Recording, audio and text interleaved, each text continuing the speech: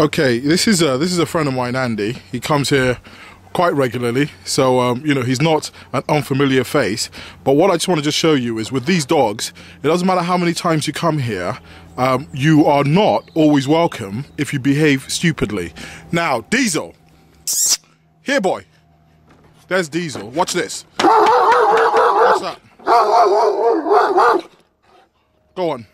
Stupidness again. Diesel, come on, up you get. You won't come here and mess about. This is a whole point. This is a whole point. Now, Andy, approach that fence again, please.